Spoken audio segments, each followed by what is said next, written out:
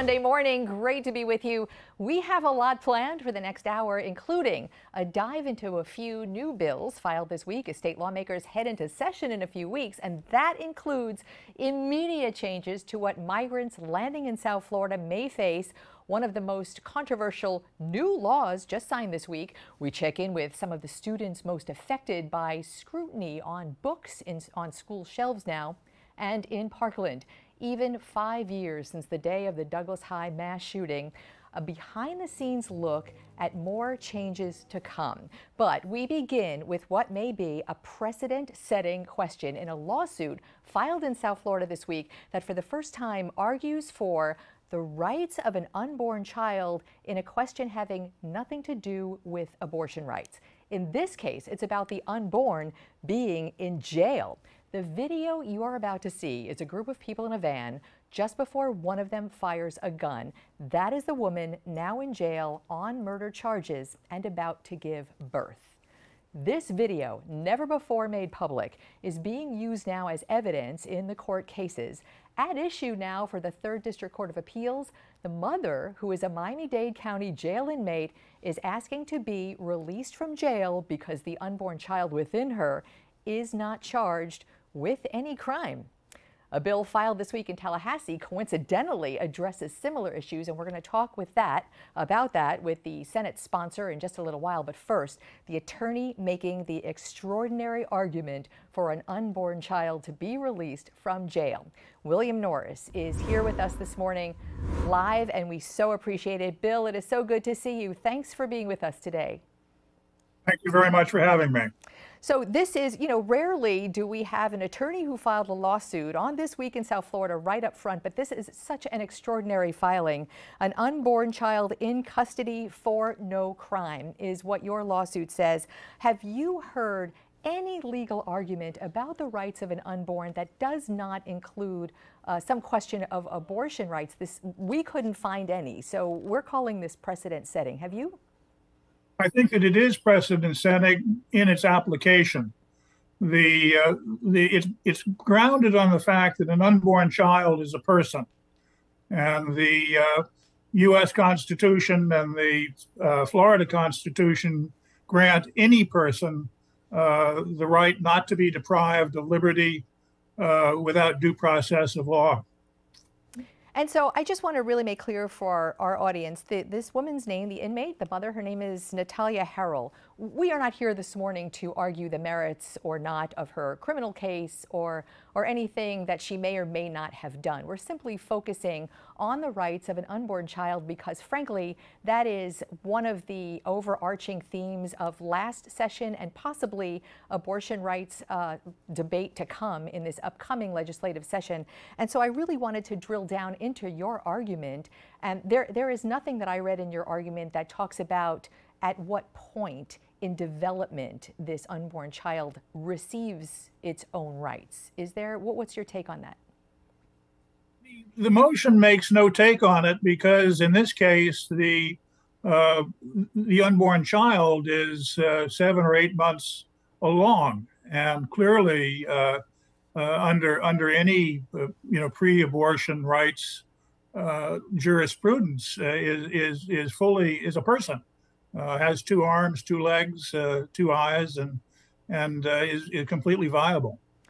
So at this point in this one case, that unborn child would be a, literally a month maybe from birth, and if in if it turns out to be a premature birth, uh, viable outside its mother's womb.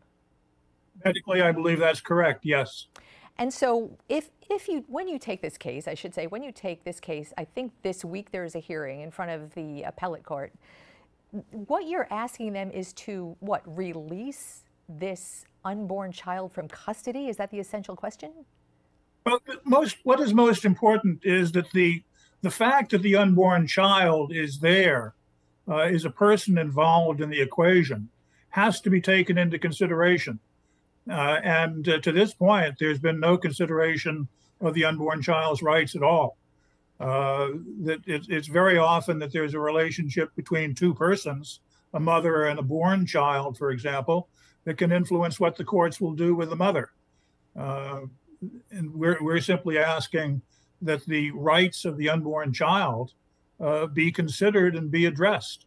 And what do you see that, uh, what's the choice there? What, what do you see its logical conclusion being? You, you've well, actually asked for the release.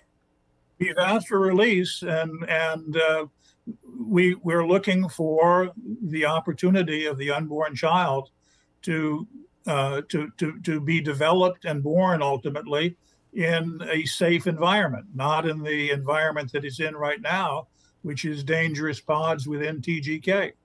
And also then the, for the unborn child to have access to proper uh, prenatal care.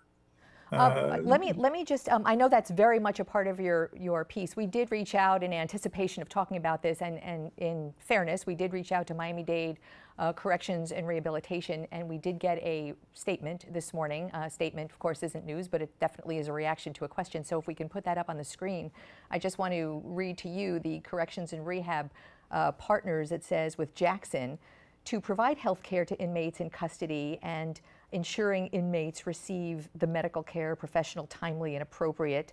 Um, and they're doing a full review of the services in this case rendered to your client. Um, and so that, that is definitely a component and a component in the bill that we're about to talk about with State Senator Shevrin Jones uh, coming up later in this program. Um, here's the essential question that, as the attorney for this one woman in this one case, you know there's going to be people watching this asking, in the broader question, releasing criminals and accused criminals on the basis of being pregnant or about to give birth raises a lot of public safety issues. There are going to be people who ask that. How do you respond to that? Well, first off, clearly the public safety issues need to be addressed. Uh, but in, in this particular case, uh, you mentioned uh, Senator Jones's bill uh, it provides for release uh, of a of a of a woman who's about to give birth who's been convicted and sentenced. Uh, in this case, the mother, Miss Harrell, hasn't been convicted of anything. She's been accused, as the videotape that you played shows. There's compelling evidence, but she has a a stand your ground immunity defense that her her attorney, her criminal attorney, is going to assert.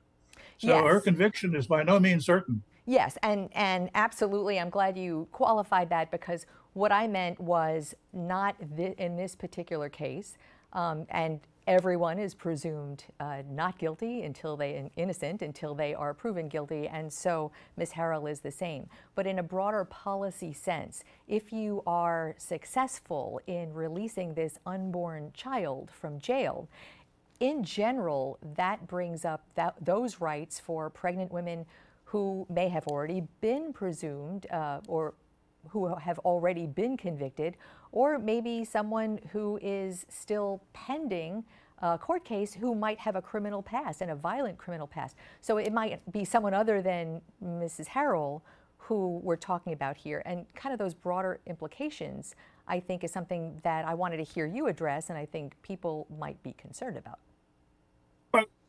the fact that the matter should be raised and considered uh, is, is, absolutely certain. Uh, as you have posed what ifs that are, are more serious and more significant, uh, you, you can go down the scale of severity as well. Uh, a woman who is denied bond for whatever reason, uh, just because of an accusation, uh, I mean, that's society deals with that. That's the that that's a question which is addressed in the courts on a routine basis. The question that is raised in this lawsuit is something that is not considered, has not been raised, and that as a person, the unborn child's constitutional rights. As it relates and, to yeah. custody, in, uh, in a jail or prison. It's really fascinating. Bill Norris, um, we will be following how you progress in the courts, a precedent-setting case, and we appreciate uh, you allowing us to really make a lot of this public today on This Week in South Florida. Great to have you. Thank you. Up next, we are going to connect with State Senator Shevrin Jones in just a little while, but first, Migrants on the Move, hosted and funded by the state of Florida. That law took effect this week with its signing and we look beyond the partisan debate coming up next.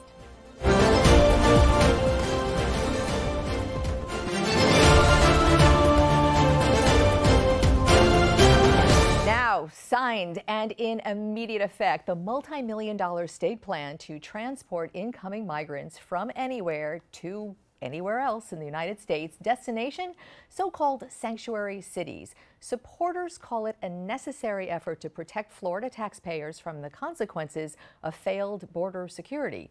Opponents call it an inhumane and possibly unconstitutional move. The fact is, it is state law right now, and our mission here to drill down into the practical effects from someone on the front lines, and that is Shalyn Fluharty, the Executive Director of Americans for Immigration Justice. Shalyn, great to have you on the program. Can you hear us okay? Just let's do a little audio check. Shalyn, you can hear us all right, right? Okay, I think we have a little problem going on right there. Can we connect with Shalyn?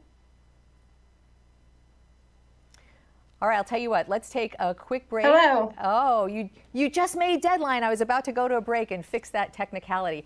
Shalyn, good to have you.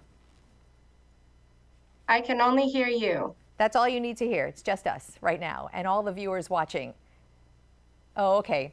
I'm sorry. So she was talking. Shalyn's talking to our booth. Let me a little inside TV now. Here. Now She's I can hear to the booth. Uh, we're okay. Now you can hear us. And I just want to thank our entire audience for going off the rails and getting back on with us in real time television. So, all right. And so, now I can't hear you, Glenna. here we go. All right. Well, I'm not quite sure to, what to do from here. So why don't I you do can this? I, I can hear you again. Good morning. Hi. Good morning to you. All right. I'm going to go for it now. Okay.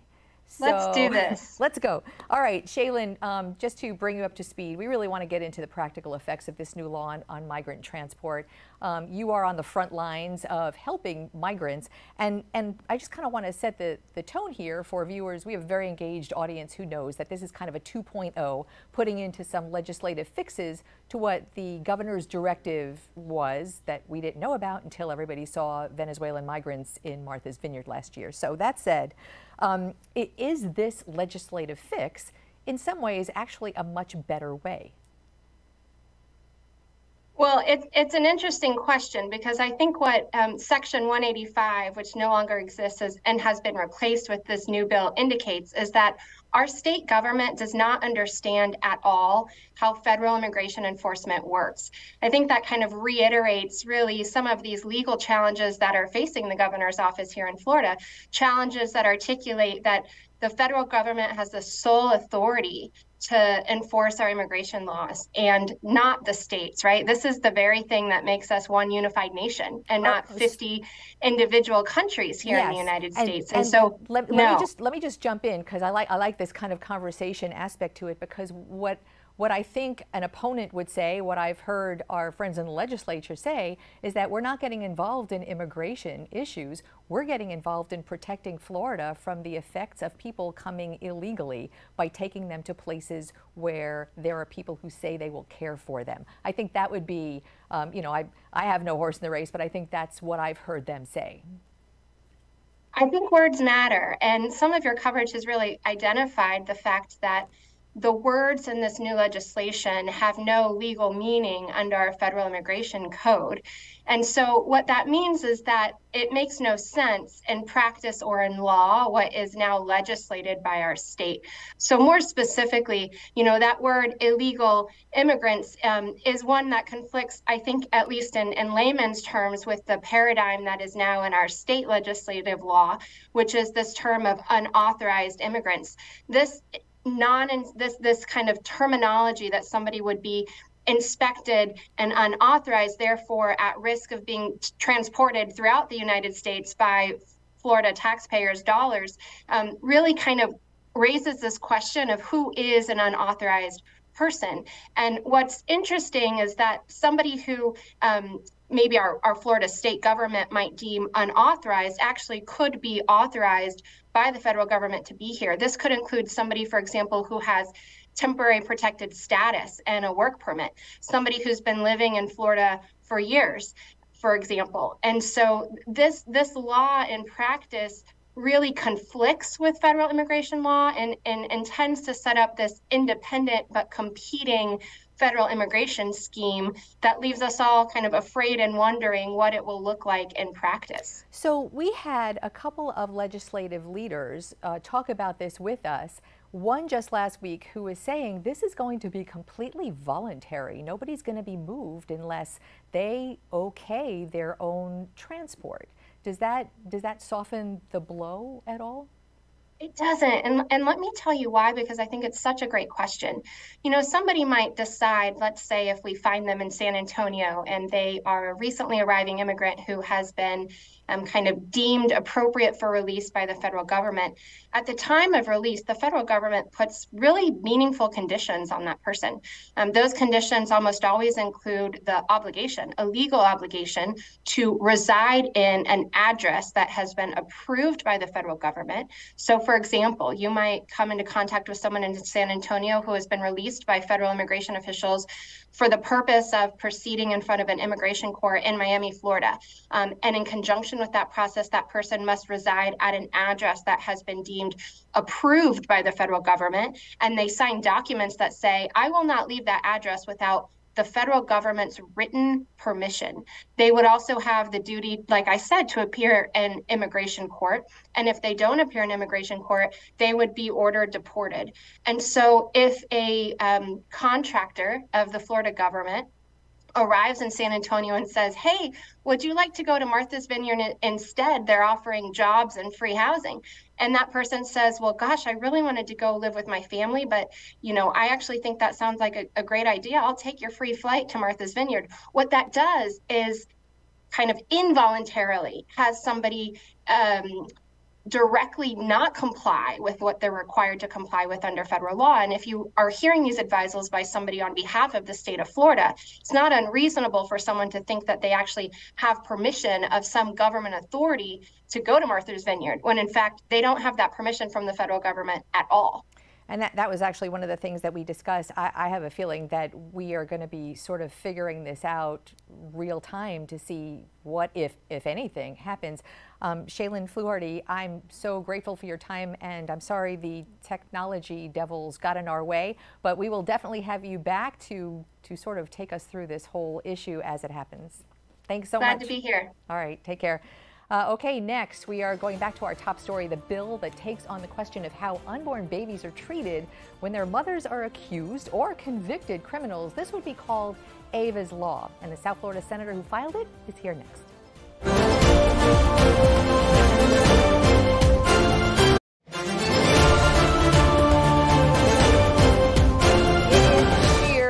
Coincidence that this same week as that lawsuit filed involving a pregnant jail inmate, a new bill filed in Tallahassee addresses some of those same issues, separate and unrelated, but also raising questions of how Florida should handle the intersection of crime, punishment, childbirth, and the rights of an unborn child. South Florida State Senator Shevrin Jones has sponsored what would be called Ava's Law, and he has actually in past years as well. Prenatal attention and treatment is the focus, as is the intersection of crime and parenthood. Good morning, Senator Jones. Good morning, Linda. Thank you for having me. Um, so thanks for being spontaneous with us this week because you you have been and always will be. But th this is such an interesting conversation in light of this other lawsuit that was filed in the appeals court. But Ava's law is really about being pregnant in jail and getting health care and getting treatment. Is that is that valid? That's very, very valid. And actually, this is the second year that we are attempting to try this because the bill is really about providing mothers with the treatment and care that's necessary uh, to deliver their child safely before they uh, even continue their sentence. And and just like you made mention of the bill being Ava's law, uh, and for those who don't know, this is um, in honor of the unborn child of Erica Thompson, who died after Ms. Thompson was refused treatment and care by jail officials, despite Ms. Thompson's cries for help while she was being while she was incarcerated. And that, just to be clear, that wasn't in a South Florida jail. That was upstate. Right? That was upstate. Yeah. Correct. Okay. So. So I don't, you know, I'm I'm guessing you're going to be getting bipartisan support when it comes to the health and safety of a woman and her unborn child. But a component of this bill allows a judge to stay the sentence of a convicted criminal uh, who will who will otherwise leave incarceration if she's pregnant, about to give birth, or maybe having, you know, recently give birth. So mm. th- that component, you know, there that might be great and healthy and fine for a woman and her child.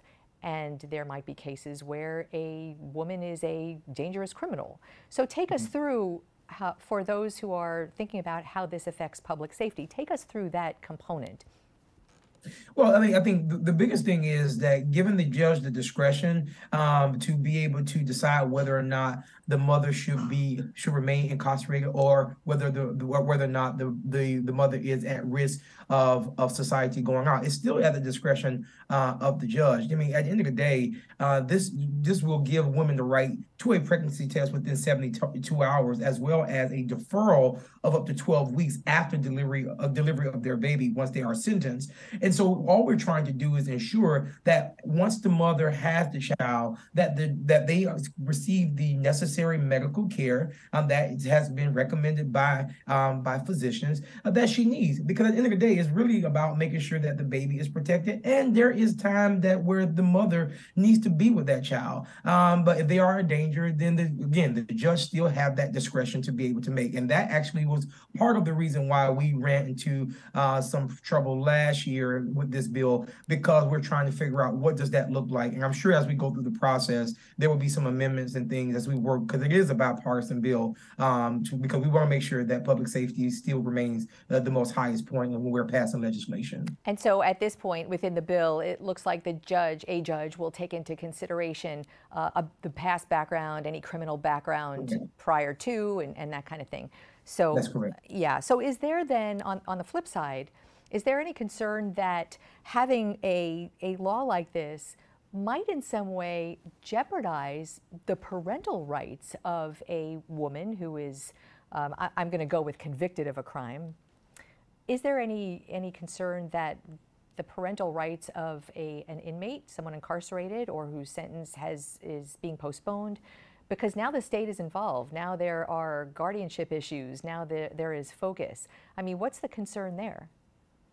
Well, we haven't heard that concern, and I um, just just right now, uh, you just right made mention of it. But we glad to give you something concern. to think about as you take this forward. Absolutely, absolutely. Thank you. I appreciate, and we and we will. Again, it's at the beginning stages of the process, and yeah. so we're going to work to build to to work it through the um, the process over the next few weeks.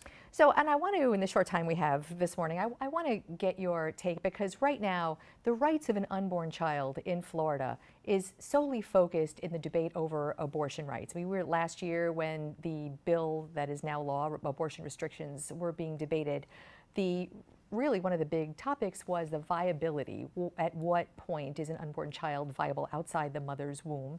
Is, is there any consideration of yours as you go into a very divided legislature this year that something from this bill will either way affect what what might be coming because it's been telegraphed what might be coming in further abortion rights restrictions or not is this do you think that the questions you're posing kind of have a larger context when it comes to Florida law. Yeah, I mean, and, and that's just it's a it's such a slippery slope, especially in uh, dealing with what we're dealing with in Florida. When do uh, when we do come speak about abortion and the direction that the state of Florida is moving, uh, with a woman's right to choose, and I don't want us to muddy um, this issue with Ava's law with what the what the legislature is trying to push, uh, because at the end of the day, uh, then we must make sure that all mothers and their children are cared for uh, in this state, and we cannot allow another preventable tragedy like this to happen again, or or happen here uh, in Florida. But outside and apart from what we know, this legislative session is going to be be be about. I'm, I'm hoping that they don't convolute the two because this is about one public safety, two about the safety of the child and the mother who are incarcerated. No matter what they've done, uh, the the the child deserves um, to be safe, and the mother deserves to be safe too. I can't imagine a more bipartisan thought than that. State Senator Shevrin Jones, great to have you aboard as always. Have a beautiful Sunday. You too. Thanks. All right, next this week, community marked five years passing since the profound consequences of the mass shooting at Stoneman Douglas High. One is now a revisit of the death penalty law. The details and a reporter debrief is next.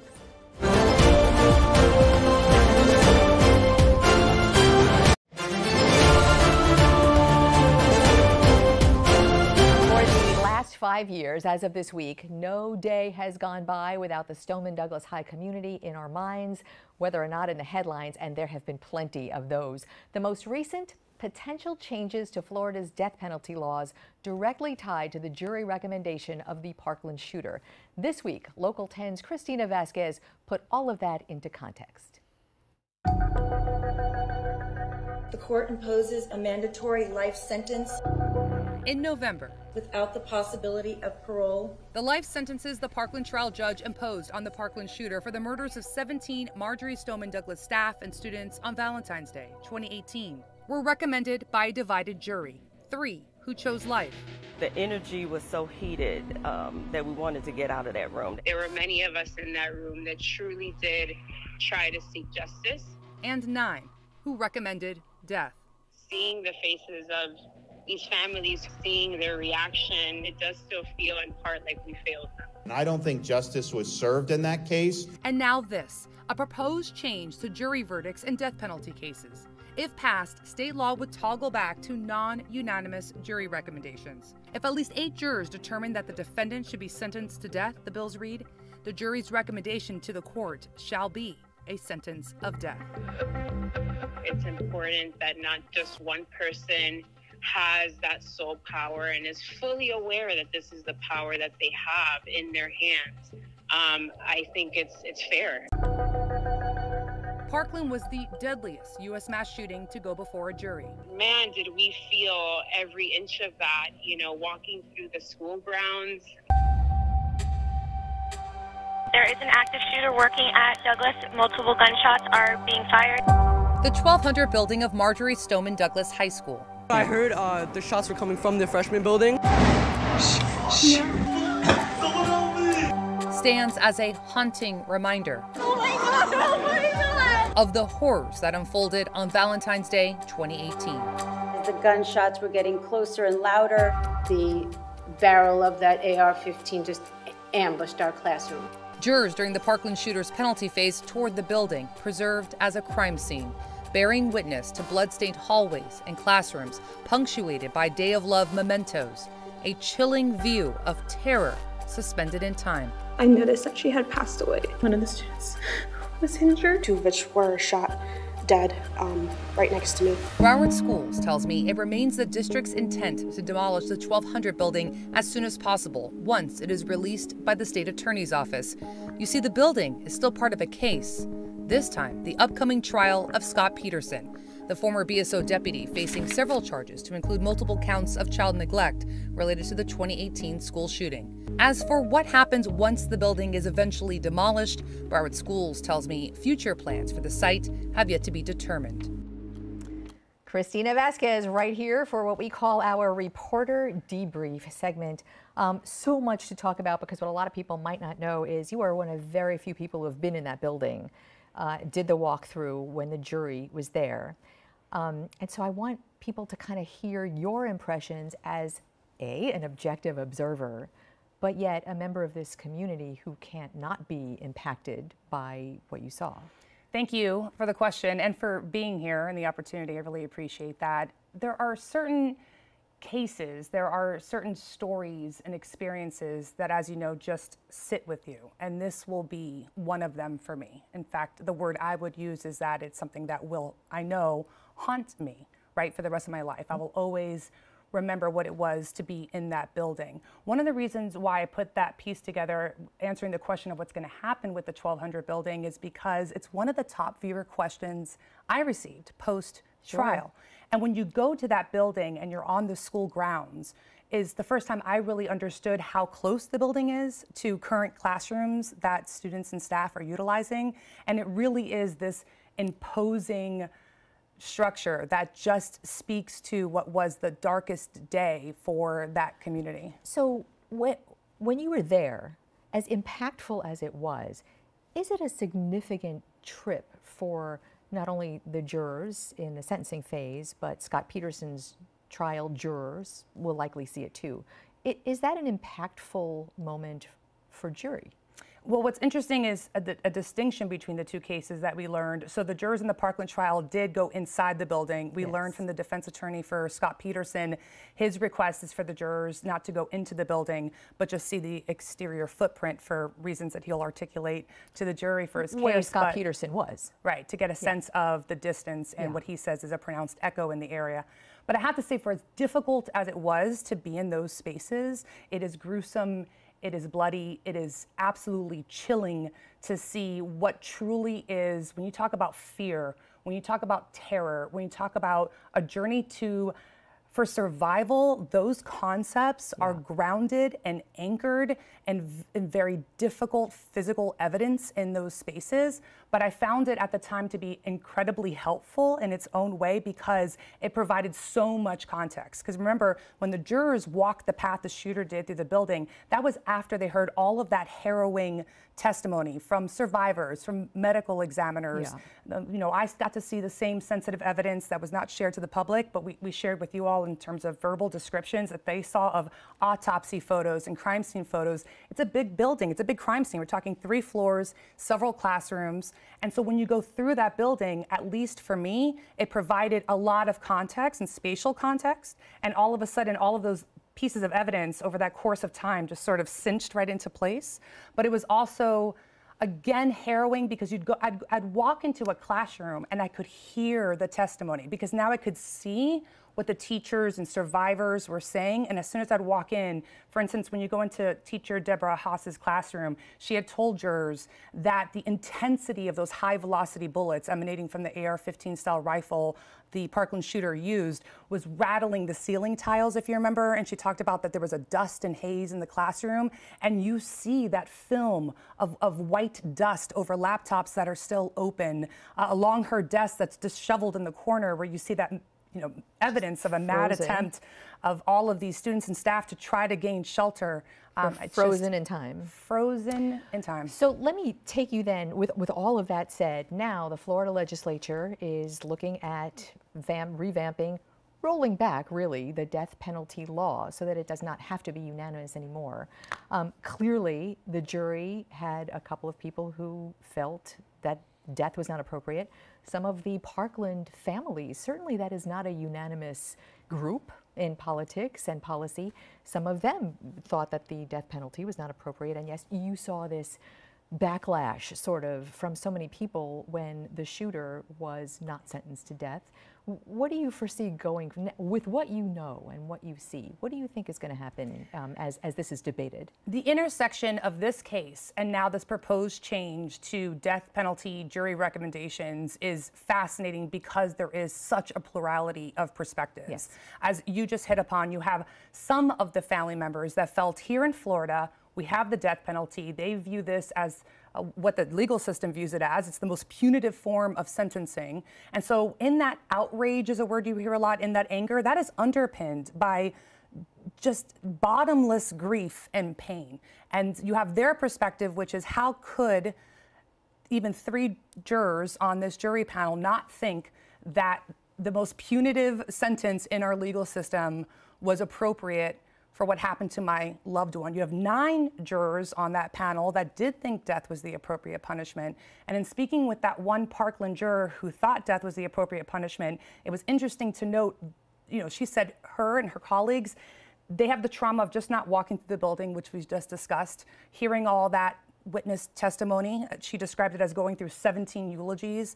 All of that evidence, they feel a trauma of failing, that they failed the families. And then you have the legal perspective on all of this. I mean, the one thing we as Americans value out of almost anything else is liberty. So when you're talking about something like a death sentence, it's the ultimate act of taking away someone's liberty, right? You're, you, you've decided as a, as a society in that case to take someone's life. So legal experts will say that is why due process and constitutional safeguards, these things are very important. And I think, I think what happens is when you hear that, through a lens of, let's say, another case. Take a high profile case where you've heard someone's been exonerated from death row because advancements in DNA technology prove they were never at the scene.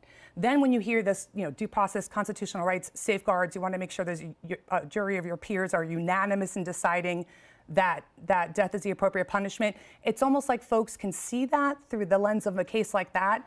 The Parkland shooter case is so egregious and so horrific. And it's also in its own way an outlier because remember, guilt was never at question. Yeah. Right? And so. Which played a large part in that. So legal analysts say that's why they caution to take a case as, as unique as Parkland and use that to underpin a policy change, there's a little warning flag some folks put up. Yeah. And my my question was, and I know you and I talk about this a lot. We kind of share, I think, a very similar process to our reporting, which is always a thought of context. Okay, well, where does this stand on a nationwide view?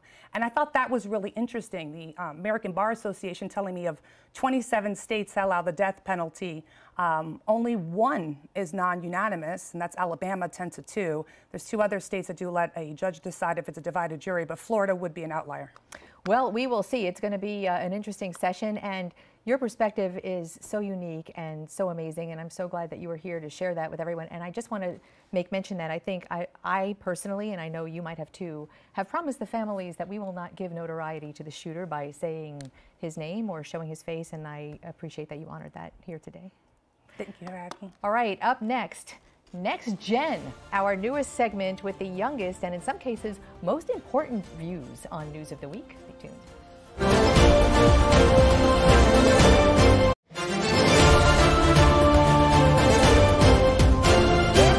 Regular with us here, you know how focused we are at making sure South Florida's diverse perspectives have voice here, and that includes the youngest among us who want to see their takes reflected in the news and issues of the week. So today we turn to Asha Cope Edwards and Ashley Acero Rodriguez for that conversation. Both high school seniors, right? Yes. Engaged in planning a protest tomorrow. Asha, let's start with you.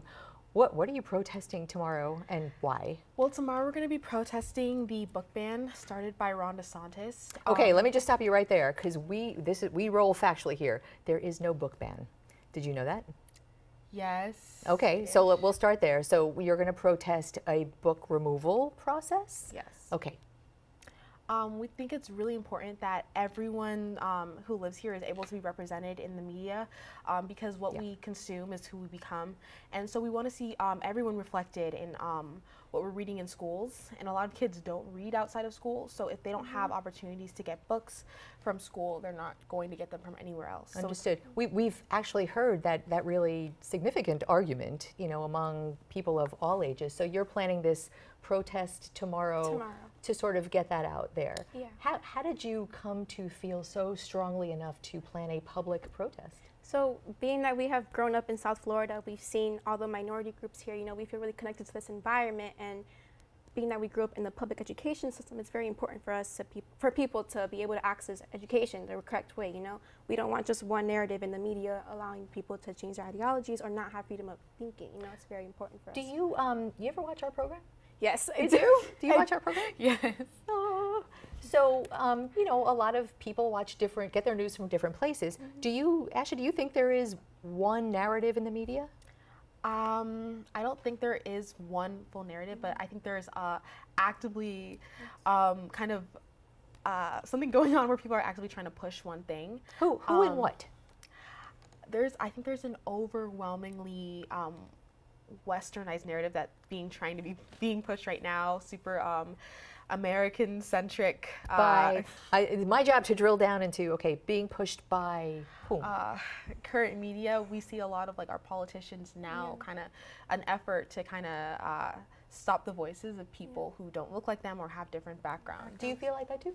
Yes, he's definitely well, he, him, him as Ron DeSantis and other political figures that um, can be very radical at some, to certain degrees. Um, they're trying to censor voices that are usually marginalized. And okay. we, yeah. I'm sorry, no, I don't interrupt. Yeah, and just like being that America was built upon the work of minority groups, and you know, the whole point of America is to be a democratic country we shouldn't be able to censor certain groups and certain voices. Okay, so being the very fair program that we are, and we do not look through any partisan lens, right.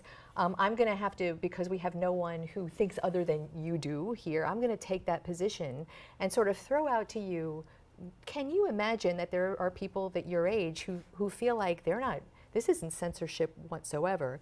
And what I think you've heard a lot of people on this program who are in to the makings of this law saying that this is something that a parent has the right to go do now. Look at these books, challenge the books. The books go through a process. Mm -hmm. There are some books challenged that are still on the shelves.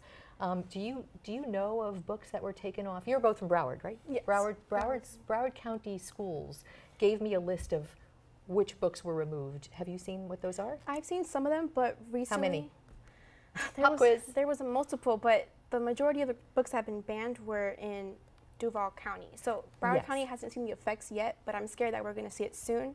And so we want to take action now. Okay, so the, the three, there are three yeah. books in Broward, um, and I think three three books in Broward according to the district, yes, just uh, and and two according to the state, and in Miami Dade three books titles removed, and all of them I I actually read through them. I'm a parent, and I see. I mean.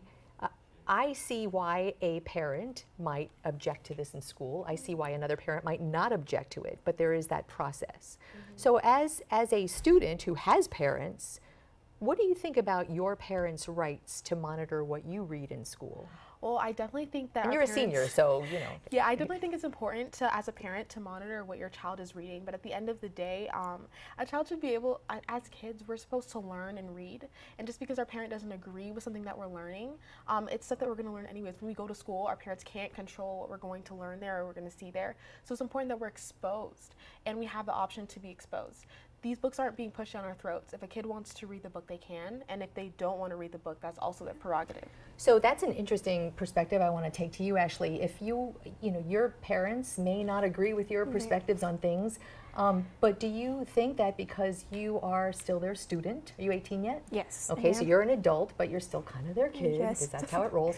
So do you think they have um, an option now they have more of an option that they did with new laws, parental rights laws. Do you um, do you support the fact that a parent, maybe not of an 18-year-old, but of a five-year-old or a nine-year-old, has more of the right to go to school, see what their child's doing, what their child's learning, and object to it if they want? Um, I say yes, but when it comes to the public education system, there are certain things that you may not align with in your core values that you have to just accept because at the end of the day, you're going to a public education system. You know, you have your student, your child in that school for a reason. If you don't have, if you have certain political views or certain religious views that don't align with the education system that you're currently in, then you should look at private schools that focus and align more with your values. The education system is supposed to be open to everybody, you know? What do you think about that? I fully agree with that. I mean, right now, we actually, I think there's been one book banned at Nova that was addressing um, basically our bodies and like um, sexual acts and things like and our anatomy and things like that have been banned and it's like you don't have to agree that your child should be reading it but it should be open to any child who wants to learn about yeah. their body what one quick question before we run out of time do you know anybody in your group that feels totally opposite than you do um not really no, no. how about you no? no, no. okay I want to just put a call out there to any young people who want to come in here and debate this from the other side. Hit me up and we're going to stay tuned. We'll give you some addresses that you can use to do that. So right now, Ashley Acero Rodriguez, so good to have you. Asha Cope Edwards, you rock. I love that you were here and I love that you were sharing with our viewers your take on things. See Thank soon. you. Thank okay. you. All right, we'll be right back. Stay tuned.